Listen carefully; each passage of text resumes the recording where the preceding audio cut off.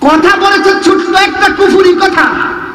এক কুফুরি কথার কারণে তার যে পুরো জিন্দগির আমল ধ্বংস হয়ে গেল, জান্নাত থেকে জাহান্নামের পথিক হয়ে গেল।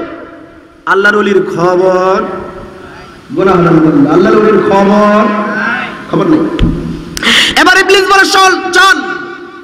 আমি আলেম মারলে খুশি হই কেন? এর কারণ কি? তো হাঁটতে হাঁটতে এক জায়গায় গেছে। গিয়ে দেখে এক আলেম তার ছাত্রদেরকে নিয়ে একটু খুশ গল্প করতেছে, না তেলাওয়াত করতেছে, না জিকির করতেছে, একটু খুশ আলাপ করতেছে। ইবলিস গিয়ে ওই আলেমের কাছে গেল। গিয়ে বলল যে, হুজুর, আমার এখন ছোট্ট প্রশ্ন আছে। ওই আলেম বললেন, বলো তোমার কি প্রশ্ন? ইবলিস বলল, হুজুর, আমার প্রশ্ন হলো যে আল্লাহ তাআলা কি বিশাল পৃথিবী, এই সুবিশাল ধরিত্রী, একটা ছোট্ট ডিমের ভিতরে ঢুকাইতে পারবেন? ওই আলেম নির্দ্বিধায়, নিঃসংকোচে, দ্বিধাহীন চিত্তে, দ্ব্যর্থহীন ভাষায়, পরিষ্কার শব্দে সাথে সাথেই বলে দিলেন, আল্লাহ চাইলে অবশ্যই অবশ্যই পারবেন।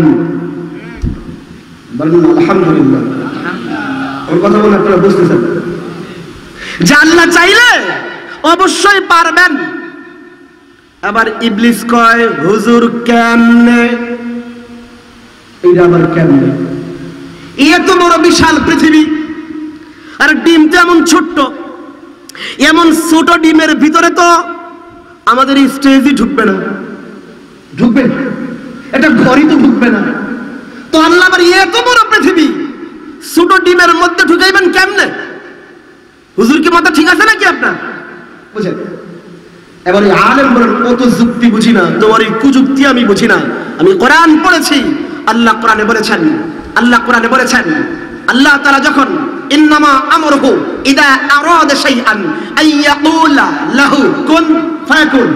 আল্লাহ বলেন, বান্দা, আমি যখন কোনো কিছু করতে চাই, কোনো কিছু বানাতে চাই, তো আমি আল্লাহ কোনো মেহনত করি না, কোনো মুজাহাদা করি না, কোনো মশাক্কাত করি না, কোনো কষ্ট করি না। আমি আল্লাহ শুধু বলি, কোন, হয়ে যাও, সাথে সাথে ওই বস্তু হয়ে যায় এর মানে আল্লাহ যখন এই পুরা পৃথিবীটাকে ছোট্ট ডিমের ভিতরে ঢুকাইতে চাইবেন, আল্লাহর কোন বলতে দেরি হবে? পুরা পৃথিবী সুরসুর করে ডিমের ভিতরে প্রবেশ করতে দেরি করবে না। কোরআন কিতাবুল্লাহ, আবার কালামুল্লাহ, যেটা কিতাব হয়, লিখিত হয়, সহিফায় থাকে, কাগজে থাকে। বলেন তো, কাগজের লেখা জিন্দা না মুরুদা। হ্যাঁ? বই কি জিন্দা? বুঝেন আমার কথা? আমি যেটা লিখে দিলাম, কাগজ জিন্দা না মুর্দা? জিন্দা না মুর্দা? এ, মরা, লিখে দিয়েছেন, কাগজ। কিন্তু যেটা কালাম হয়, কালাম কখনো মুর্দা হয় না। কালাম জিন্দা হয়। বুঝেন বুঝেন। বাবা আদম থেকে নিয়ে ঈসা আলা নবিয়িনা আলাইহিস সালাতু সালাম পর্যন্ত আল্লাহ যত নবীকে কিতাব দিয়েছেন, প্রত্যেকটা কিতাব হ্যাঁ হ্যাঁ কিতাবুল্লাহ ছিল, আল্লাহর কিতাব ছিল, কালামুল্লাহ ছিল না, শুধুই কিতাব। ইঞ্জিল শুধুই কিতাব। তৌরাত শুধুই কিতাব। জাবুর, শুধুই কিতাব। সাইফা ইব্রাহিম, শুধুই কিতাব। কিন্তু আল্লাহ কোরআনকে এমন এক কিতাব বানিয়েছেন, যেটা শুধুমাত্র কিতাব নয়, কালামুল্লাহ। আল্লাহর কালাম মানে আল্লাহর কথা আল্লাহর কথা। যেটা কথা হয়, মুর্দা হয় না, জিন্দা হয়। এর মানে দুনিয়ার জমিনে একমাত্র কিতাব কোরআন, যেই কিতাব জিন্দা কিতাব। যেই কিতাব কি কিতাব? কোরআন জিন্দা কিতাব। কোরআন যে কালাম, কোরআন কথা, কোরআন আল্লাহর কথা, কোরআন এখনও কথা বলতে জানে, কোরআন কথা বলতে জানে, তবে কোরআনের ভাষা বুঝতে হবে। যদি কোরআনকে জিজ্ঞেস করেন, কোরআন, তোমার নাম কি? কোরআন বলবে বল কোরআন আল আজিম আমার নাম তো কোরআন আজিম যদি জিজ্ঞেস করেন, কোরআন, তোমার বাড়ি কোথায়? কোরআন বলবে, ফি লাউহে মাহফুজ। আমার বাড়ি তো হলো লৌহে মাহফুজে। যদি জিজ্ঞেস করেন, কোরআন, তোমাকে কে পাঠিয়েছে? কোরআন বলবে, তাজিলুম মির রাব্বির রহিম। আমাকে মহান রব আল্লাহ দুনিয়াতে পাঠিয়েছে। যদি জিজ্ঞেস করেন, কোরআন, তোমাকে কে নিয়ে আসছে? কোরআন বলবে নাজারা বিহি রুহুল আমিন। আমাকে রুহুল আমিন নামের জিব্রাইল ফেরেস্তা দুনিয়াতে নিয়ে আসছে। যদি জিজ্ঞেস করেন কোরআন তুমি কার উপরে নাজিল হয়েছো? কোরআন বলবে নুজিল আলা মুহাম্মদ। আমি নবী মুহাম্মদ সাল্লাল্লাহু আলাইহি ওয়াসাল্লামের উপরে নাজিল হয়েছি। যদি জিজ্ঞেস করেন, কোরআন, তুমি কোন ভাষায় নাজিল হয়েছো? কোরআন বলবে বিলিসানিন আরাবিক্কিম মুবিন। আমি কোরআন তো আরবি ভাষায় নাজিল হয়েছি। যদি জিজ্ঞেস করেন, কোরআন, তুমি কোন মাসে নাজিল হয়েছো? কোরআন বলবে, শাহরু রমাদান আল্লাযী উনজিলা ফীহিল কোরআন। আমি কোরআন তো রমজান মাসে নাজিল হয়েছি। যদি জিজ্ঞেস করেন কোরআন তুমি রমজান মাসের কোন সময়ে নাজিল হয়েছো? কোরআন বলে, ইন্না আনজালনাহু ফি লাইলাতুল কদর। আমি কোরআন তো লাইলাতুল কদর, সবে কদরে দুনিয়াতে নাজিল হয়েছি। যদি জিজ্ঞেস করেন, কোরআন, তোমার মাঝে কি কোনো সন্দেহ আছে? কোরআন বলে, না না জালিকাল কিতাব, লা রাইবা ফি। আমি কোরআনের মাঝে কোনো সন্দেহ নাই। যদি জিজ্ঞেস করেন, কোরআন, তোমার ব্যাপারে কেউ সন্দেহ করলে তাকে কি জবাব দেব? কোরআন বলে, এ কুনতুম ফি রাইবিম মিম্মা নাযালনা আলা আবদিনা ফাতু বিসূরাতিন মিসলি আমি কোরআনের ব্যাপারে কেউ যদি সন্দেহ করে, তাহলে চ্যালেঞ্জ করে বলবা, কোরআনের ব্যাপারে সন্দেহ করলে কোরআনের মতো একটা ছোট্ট বানিয়ে দেখাও। যদি জিজ্ঞেস করেন, কোরআন, তোমাকে তেলাওয়াত করুম কেমনে? কোরআন বলে ওরত্তিরিল কোরআনা আমি কোরআনকে সাথে ধীর স্থির ভাবে মত গুন্না ঠিক রেখে আদবের সাথে তেলাওয়াত করবা। যদি জিজ্ঞেস করেন, কোরআন, তোমাকে কে কে ধরতে পারবে? কার কার ধরা নিষেধ? কোরআন বলে, লা ইয়ামাসসুহু ইল্লাল মুতাহহারুন। আমি কোরআনকে একমাত্র পবিত্র ব্যক্তিরাই ধরতে পারবে, অপবিত্র ব্যক্তিদের জন্য কোরআন ধরা নিষেধ। যদি জিজ্ঞেস করেন, কোরআন, তোমাকে তেলাওয়াত করা হলে আমরা শুনব কেমনে? কোরআন বলে, ওয়া ইদা কুরিআল কুরআনু ফাসতামিউ লাহু আমি কোরআনকে যখন তেলাওয়াত করা হবে, তখন মনোযোগ সহকারে শুনবা এবং চুপ করে থাকবা। যদি জিজ্ঞেস করেন, কোরআন, তোমাকে হেফাজত কে করবে? কোরআন বলে, ইন্না নাহনু ওয়া ইন্না লাহু লাহাফিজুন। এই কোরআনকে আল্লাহ নাযিল করেছেন। এই কোরআন আল্লাহ হেফাজত করবেন। যদি জিজ্ঞেস করেন, কোরআন, তুমি নাফিল কেন হয়েছো? কার জন্য হয়েছো? কোরআন বলে হুদাল্লিল মুত্তাকিন। হুদাল্লিন নাস ওয়া বাইয়িনাতিন হুদা বলে, আমি নাজিল হয়েছি মুত্তাকিনদের এবং সমস্ত মানব মণ্ডলীর মানব জাতির হেদায়েতের জন্য আমি কোরআন নাজিল হয়েছি। কোরআন এমনই এক কিতাব, জিন্দা কিতাব, তেলাওয়াতকারীকে কারিউল কোরআন বানিয়ে দেয়, মুখস্থকারীকে হাফিজুল কোরআন উপাধি দেয়, তার মাহানি মাতালেব, তাফসীর জান্নাওয়ালাকে মুফাসসিরে কোরআন বানিয়ে দেয়। আমলকারীকে জাহান্নাম মুক্ত করে জান্নাতের মালিক বানিয়ে দেয়। কোরআন এমনই এক কিতাব। কোরআন বড় আজিব কিতাব। কোরআনের এলেম যাদের সিনায় আছে আল্লাহ তাদেরকে কত দামি বানিয়েছেন। বলতে গেলে একটু লম্বা হয়ে যায় খুব সংক্ষেপে বলব। যে আমরা অনেকে মনে করি যে তসবি পড়া ইবাদত হ্যাঁ হ্যাঁ ইবাদত জিকির করা ইবাদত হ্যাঁ হ্যাঁ ইবাদত। তাহাজ্জুদ পড়া ইবাদত হ্যাঁ হ্যাঁ ইবাদত, কোনো সন্দেহ নেই। কিন্তু মাদ্রাসায় পড়া ইবাদত দ্বীনের মাসাইল শিক্ষা করা ইবাদত, এটা আমাদের বুঝে আসে যে ওজুর মাসালা শিখি, এটা আবার ইবাদত কেমনে? আচ্ছা ইস্তেনজার তরিকা শিখি এটা আবার ইবাদত কেমনে? এটা বুঝে আসে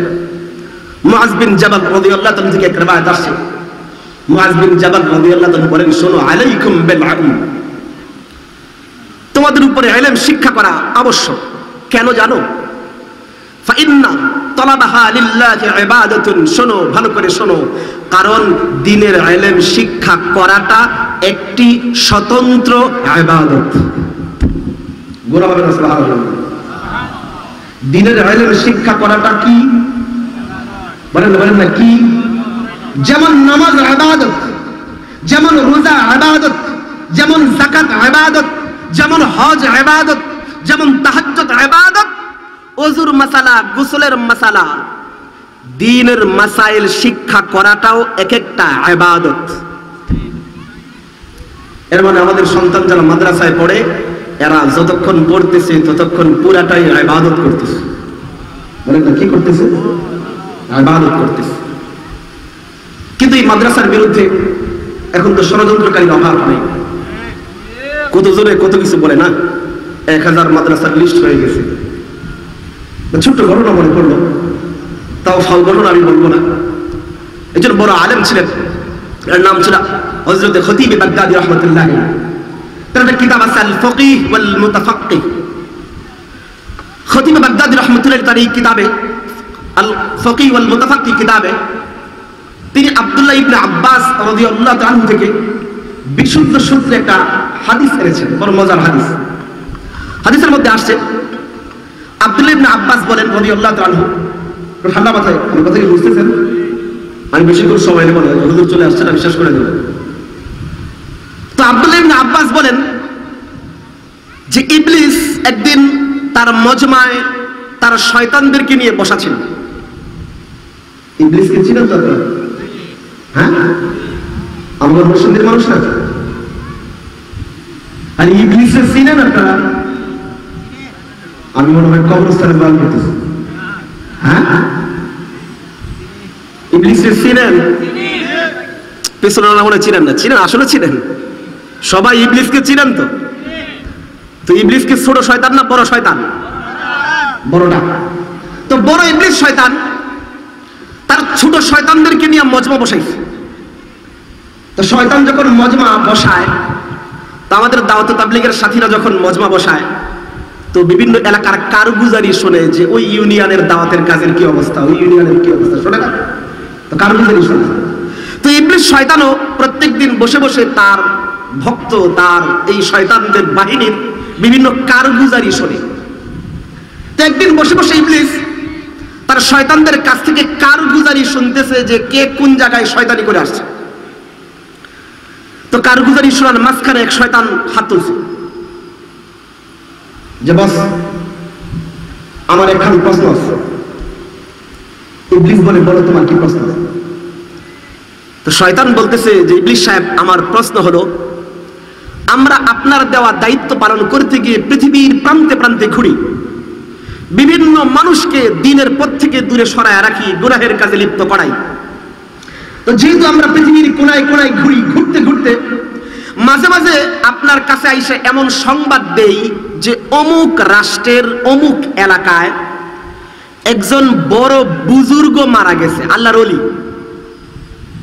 অনেক বড় আল্লাহর অলি অনেক তসবি টিপে, অনেক জিকিরি করে। কথার কথা, উনি সারা জিন্দগি চিল্লা দেয়। অনেক দাওয়াতের কাজ করে, অনেক তসবি পড়ে, অনেক জিকিরি করে, অনেক আমল তো ওই লোকটা মারা গেছে। তো কোন আল্লাহর ওলি বুজুর্গ মারা যাওয়ার সংবাদ আপনার কাছে এসে যখন দেই, তা আপনাকে খুব একটা খুশি হতে দেখি না। বেশি খুশি না। কিন্তু আপনার কাছে আইসা যখনই আমি আমরা সংবাদ দেই যে অমুক রাষ্ট্রের, অমুক এলাকার, অমুক গোত্রের একজন বড় আলেম মারা গেছে। একজন বা আমল আলেম মারা গেছে। অনেক উঁচু পর্যায়ের মুহাদ্দিস মারা গেছে। অনেক উঁচু পর্যায়ের মুফাসসির মারা গিয়েছেন অনেক বড় একজন মুফতি মারা গেছে। এই সংবাদ আপনাকে দেওয়ার সাথে সাথে আপনি ইবলিস সাহেব চেয়ার থেকে নেমে লাফাইতে শুরু করেন, নাচতে শুরু করেন, খুশি হয়ে যান। শয়তান বলে, ইবলিস সাহেব, আমার প্রশ্ন হলো বড় বুজুর্গরা বাহ্যিক ভাবে তাহাজ্জুদ বেশি পড়ে, তসবিহ বেশি টিপে এবাদত বেশি করে। তো এবাদতওয়ালা মানুষ মারা গেলে আপনার তো খুশি হওয়ার কথা। কিন্তু এবাদতওয়ালা মানুষ মারা গেলে আপনি খুশি বেশি হন না। কিন্তু বড় আলেম মারা গেলে আপনি এত খুশি হন কেন? শয়তানের প্রশ্নটা মনে হয় বুঝেন না বুঝছেন? এবার ইবলিস কি বলে? ইবলিস বলে, শয়তান, আমি তো এমনি ইবলিস হইনি। তোর মতো শয়তানি করতে করতে তো বড় ইবলিস হয়েছে। তো এই প্রশ্নের উত্তর যদি আমি তোকে মুখে মুখে বলি, তো তোর বুঝে আসবে না। কারণ কিছু প্রশ্নের উত্তর আমরা যতই বুঝায় দেয় বুঝে আসে ইবলিস বলে, এই প্রশ্নের উত্তর আমি তোকে মুখে মুখে বলব না, তোকে নিজের চোখ দিয়া উত্তরটা দেখাবো। এর উত্তরটা তোকে দেখাবো। ইবলিস বলে চল, আমার সাথে একটু রাস্তায় বের হই একটু গাছতে বের হই, একটু ঘুরে আসো। তো বেরিয়েছে ইবলিস। তার ওই শয়তানকে নিয়ে গাছতে, ঘুরতে বেরিয়েছে। হাঁটতে হাঁটতে এক জায়গায় গিয়ে দেখে এক আল্লাহর ওলি নফল নামাজ পড়তেছে। তো ইবলিস দাঁড়ায় আছে। আমাদের নবীর উম্মতিদের আগে, আগের নবীদের উম্মতিদের ধোকা দেবার জন্য ইবলিস মানুষের সুরতে, অন্য কিছুর সুরতে আসতে পারতো। আমাদের নবী দোয়া করেছেন যেন আল্লাহ তাআলা এই উম্মতকে ধোকা দেওয়ার জন্য ইবলিস মানুষের সুরতে আইসা না আসে। এই জন্য আল্লাহ তাআলা আমাদেরকে হেফাজত করেছেন। বুঝেন? এখন ইবলিস মানুষের সুরতে গিয়া ওই বুজুর্গের নামাজ দেখতেছে। বুজুর্গ নামাজ থেকে যখন সালাম ফিরালো, এবার কাছে গিয়ে ইবলিস বলে, কথার কথা যে, বড় বিশ্বাস, বড় বুজুর্গ মানুষ আপনি। আপনার কাছে আমার একটা ছোট্ট প্রশ্ন আছে। তো আল্লাহর ওলি শুধুমাত্র আল্লাহর ওলি আলেম নেই, সিনাই আলেম নেই, পড়াশোনা করেন তো আল্লাহর ওলি বলতেছে যে, বলো তোমার কি প্রশ্ন? তো ইবলিস বলে, আমার প্রশ্ন হলো, আল্লাহ তাআলা কি এই বিশাল পৃথিবীটা, এই বিশাল পৃথিবীটাকে আল্লাহ তাআলা একটা ছোট্ট ডিমের ভিতরে ঢুকাইতে পারবেন?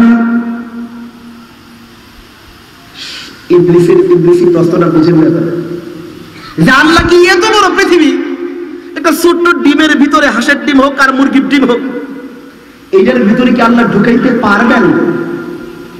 এখনই আল্লাহর অলির যেহেতু সিনাই আইলেন ছিল না, কোরআনের জ্ঞান ছিল না, হাদিসের জ্ঞান ছিল না, তিনি কিছুক্ষণ জিম্মের থেকে চুপচাপ হয়ে এরপরে মাথা উঠায় বললেন, না না, এটা তো সম্ভব না। এটা সম্ভব? ইবলিস কিছু বলে নাই, চুপচাপ মজমা থেকে বেরোয় আসছে। বের হয়ে এসে ওই যে শয়তান প্রশ্ন করছিল যে আপনি বুজুর্গ মূল্যে খুশি হন না, আলেম মূল্যে খুশি হন কেন? ইবলিস ওই শয়তানটার কান ধরে টান মেরা বলে, আহাম্মক তাকা দেখ, আমি বুজুর্গ মূল্যে বেশি খুশি হই না কেন? তাকা দেখ এই আল্লাহর অলি এলেম না থাকার কারণে একটা ছোট্ট কুফুরি কথা বলে তার ষাট বছরের এবাদত ধ্বংস করে দিয়েছে, ওই বুজুর্গের কোনো খবরই নেই। বুজুর্গের খবর? কথা বলেছে ছোট্ট একটা কুফুরি কথা। এক কুফুরি কথার কারণে তার যে পুরো জিন্দগির আমল ধ্বংস হয়ে গেল, জান্নাত থেকে জাহান্নামের পথিক হয়ে গেল। আল্লাহর ওলির খবর? আল্লাহর ওলির খবর? খবর নেই। এবার ইবলিস বলে, চল চল। আমি আলেম মরলে খুশি হই কেন? এর কারণ কি? তো হাঁটতে হাঁটতে এক জায়গায় গেছে। গিয়ে দেখে এক আলেম তার ছাত্রদেরকে নিয়ে একটু খুশ গল্প করতেছে, না তেলাওয়াত করতেছে, না জিকির করতেছে, একটু খুশ আলাপ করতেছে। ইবলিস গিয়ে ওই আলেমের কাছে গেল। গিয়ে বলল যে, হুজুর, আমার এখন ছোট্ট প্রশ্ন আছে। ওই আলেম বললেন, বলো তোমার কি প্রশ্ন? ইবলিস বলল, হুজুর, আমার প্রশ্ন হলো যে আল্লাহ তাআলা কি বিশাল পৃথিবী, এই সুবিশাল ধরিত্রী একটা ছোট্ট ডিমের ভিতরে ঢুকাইতে পারবেন?